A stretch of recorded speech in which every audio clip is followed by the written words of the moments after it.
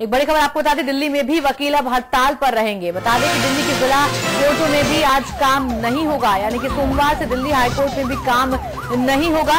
इलाहाबाद में वकील की हत्या की आँच अब दिल्ली तक भी पहुँच गई है। तो पहले उत्तर प्रदेश में उथल पुथल मची हड़ताल की गई। वहीं उत्तराखंड में भी इसकी चिंगारी देखने को मिली और अब राजधानी दिल्ली में भी इसकी आग देखने को मिल रही है। वकील अब काम नहीं करेंगे। दिल्ली में भी, दिल्ली में भी वकील हड़ताल पर रहेंगे। विप्लव अवस्थी हमारे संवाददाता फ़ोन लाइन पर हमारे साथ जुड़ गए हैं।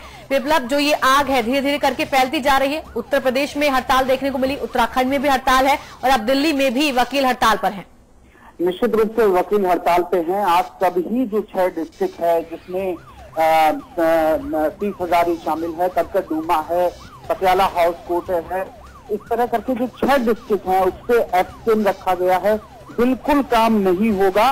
और जहाँ की अभी कल जो बयान जारी किया गया था बार काउंसिल ऑफ़ दिल्ली की तरफ़ से उन्होंने बाकायदा इस लाठीचार्ज को और जिस तरह एक वकील का आ, मौत हो गई है उसको लेकर रोष जताया था और यही फैसला किया था कि एब्सेंट रहेंगे।